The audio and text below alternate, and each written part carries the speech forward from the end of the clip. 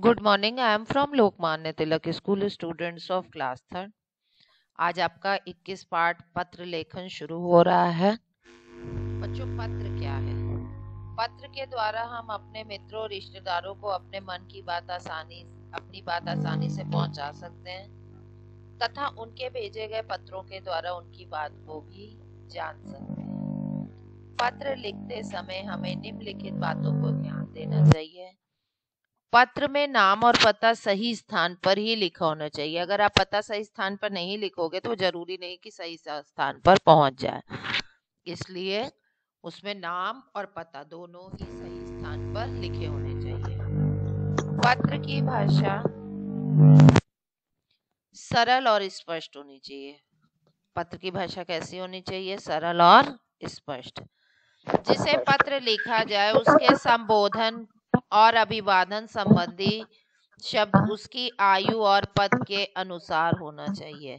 जैसे आप अपने से अपने दोस्त या अपने किसी छोटे को लिख रहे हैं तो मेरे प्रिय लिखेंगे और बड़ों को लिख रहे हैं तो आदरणीय लिखेंगे। ठीक है? पत्र में सही जगह पर लिखने वाले नाम व पता तथा तिथि लिखी होनी चाहिए। पत्र की लिखाई बहुत ही सुंदर होनी चाहिए। चलिए, अब सबसे पहले अवकाश के लिए प्रार्थना पत्र एप्लीकेशन आप किसको लिखोगे स्कूल में? अपने प्रिंसिपल को, ठीक है? तो ये आपको इसी फॉर्म में लिखना है। सेवा में प्रधानाचार्य, यहाँ इलाहाबाद पब्लिक स्कूल नहीं लिखेंगे आप। क्या लिखेंगे?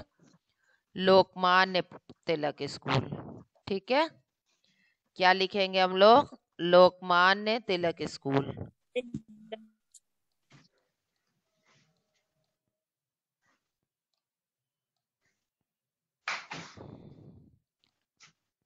लोकमान्य तिलक स्कूल। ठीक है? और इलाहाबाद की जगह अब क्या हो गया है? प्रयागराज। क्या लिखेंगे? प्रयागराज।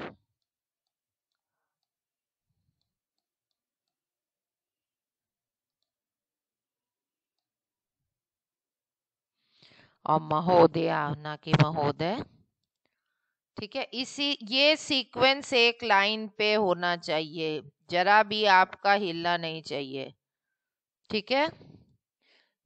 माउस से कर रहे हम तो थोड़ा सा टेढ़ा आ रहा है। ये देखिए, ये सब पूरा एक सीधी लाइन में होना चाहिए। बिल्कुल लाइन बिगड़नी नहीं चाहिए। ठीक है, और कौमा, सेवा में के बाद कौमा, प्रधानाचार्य के बाद कौमा लोकमान्य तिलक स्कूल के बाद कौमा, और प्रयागराज के बाद कौमा खत्म हो जाएगा। फिर महोदया के बाद कॉमा। सविनय निवेदन है कि मुझे कल रात से तेज बुखार आ रहा है। डॉक्टर ने मुझे दो दिन तक का विश्राम करने की सलाह दी है, इसलिए आपसे निवेदन है, मुझे दो दिन का अवकाश प्रदान करें। आपकी अति कृपा होगी। ठीक है? तो उसके बाद धन्यवाद। आपका आज्ञाकारी शिष्य या शिष्या, जो भी होगा, लड़की होगी तो शिष्या, लड़का होगा तो शिष्य। ठीक है? और यहाँ पे आप अपना नाम लिखेंगे, यहाँ पे कक्षा तीन कक्षा तीन आ ठीक है? और दिनांक जिस डेट को आप लिखेंगे, ये वाली दिनांक नहीं। आप अभी आज एप्लीकेशन लिखेंगे तो आज की डेट होगी, कल लिखेंगे, कल की डेट होगी। इस चीज़ का, इस बात का विशेष ध्यान दिया जाएगा। कि दिनांक सही लिखी होनी चाहिए। जिस भी दिन जिस भी समय आप जिस दिन पेपर देने बैठेंगे, उस दिन जो भी डेट होगी, अगर ये ये एप्लीकेशन आती है तो आपको वही डेट लिखनी पड़ेगी। ठीक है, एक तो आपका ये हो गया प्रार्थना पत्र। अब साधारण पत्र। साधारण पत्र में आप क्या करेंगे? इधर कर देती हूँ मैं। ठीक है, इसमें आप इधर अपना एड्रेस लिखेंगे, ठीक है? ये यहाँ पे आप अपना पता लिखेंगे, क्योंकि बाहर आप, का जो होता है वो, उसका पता होता है, जहाँ, जिसको आप भेज रहे हैं, ठीक है? ये पत्र है जन्मदिन पे जन्मदिन पे बुला रहा है, निमंत्रण दे, भेज रहा है किसी को, ठीक है? और देखिए, अब वो मित्र को लिख रहे हैं तो इसलिए प्रिय मित्र अमित, सप्रेम नमस्ते।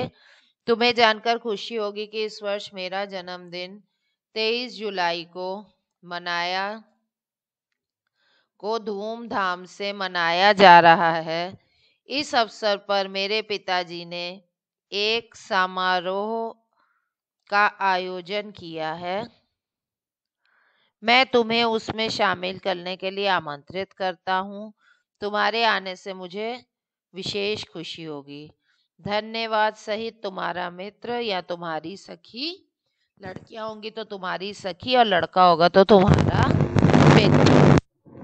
ठीक है? इस तरीके से आपको दोनों पत्र तैयार करने हैं एग्ज़ाम के लिए। यहाँ पे आपका एड्रेस होगा। ठीक है?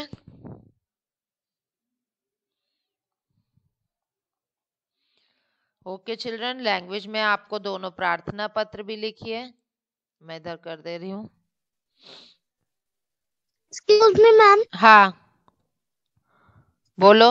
मैम जैसे कि मैम एड्रेस लिख रहे हैं तो मैम मैम जैसे ये दिल्ली लिखा है तो मैम इसके बगल में कुछ नंबर्स दिए हैं मैम अरे वो तो घर का एड्रेस है ना।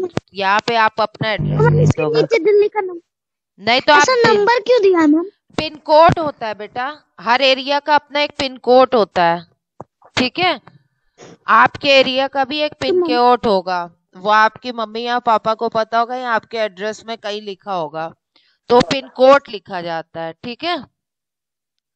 Okay ma'am. Okay postal index number उसको कहते हैं। ठीक है? मैम हाँ। मैम मैम दोनों पत्र कॉपी में लिखना है हाँ है। दोनों पत्र कॉपी में लिखना है। और यहाँ पे आपका जन्मदिन तेईस जुलाई लिखा है आप जिस तारीख को होगा आप अगर अभी Yes, हाँ तो आप वही तारीख लिखिएगा ठीक है? ओके मैम ठीक ओके बट गुड डे।